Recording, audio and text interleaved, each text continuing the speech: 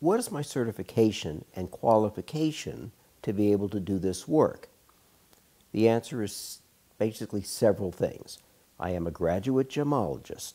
I attended the Gemological Institute of America. Um, I am also a member of the National Association of Jewelry Appraisers. Uh, this is an organization that demands standards of how you do your appraisal work and how you price things.